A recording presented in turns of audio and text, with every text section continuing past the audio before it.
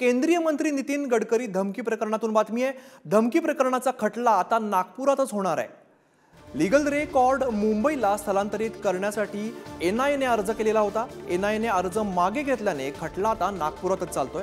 नितीन गडकरी यांना शंभर कोटी रुपयांची खंडणीसाठी जिवे मारण्याची धमकी आली होती.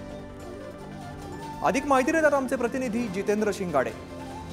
जितेंद्र एन आयने केंद्रीय मंत्री नितीन गडकरी धमकी प्रकरणातली बातमी समोर येते आता इथून पुढे हे कामकाज नागपूरमध्ये चालणार आहे काय माहिती समोर येते अमित आपल्याला माहीत आहे की ना- कर्नाटकाच्या बेळगावच्या तुरुंगामधून दोनदा केंद्रीय मंत्री नितीन गडकरी यांना धमकीचे फोन आलेले होते आणि खंडणी न दिल्यास जिवे मारण्याची धमकी देण्यात आली होती. या प्रकरणी एनआयएने तपास केला होता आणि चार्जशीट दाखल केलेली होती. मात्र एनआयएचं हे युनिट मुंबईचं आहे नागपुरात एनआयएचा युनिट नाही आणि त्यामुळे जो संपूर्ण रेकॉर्ड आहे तो मुंबईला स्थानांतरित करण्यात यावा अशी मागणी एनआयएच्या वतीने करण्यात आलेली होती. आणि या प्रकरणी नागपूरच्या धंतोली पोलीस स्टेशन अंतर्गत गुन्हे दाखल करण्यात आलेले होते.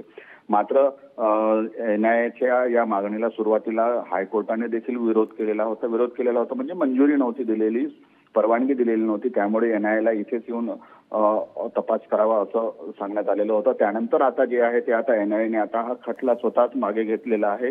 आणि नागपूरच्या विशेष न्यायालयामध्ये आता या प्रकरणी सुनावणी होऊन हा खटला सुरू राहणार आहे. या प्रकरणी दोघांना अटक केलेली होती आणि या दोन आरोपींचे जे आहेत ते संबंध जे आहेत ते दहशतवादी संघटनांपर्यंत यांचे तार जोडलेले तपासात समोर आलेलं होतं.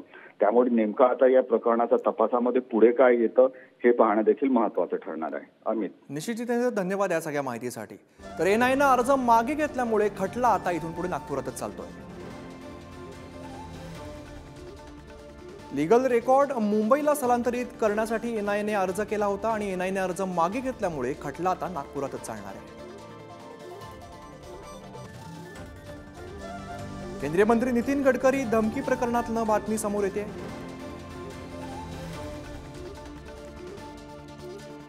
Thank you.